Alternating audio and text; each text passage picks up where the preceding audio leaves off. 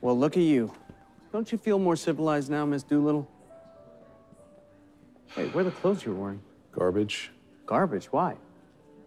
I'm already carrying boots. If I had any more clothes, pretty soon I need a suitcase. I got a suitcase, I need a house to keep it in, then I need a car for the driveway.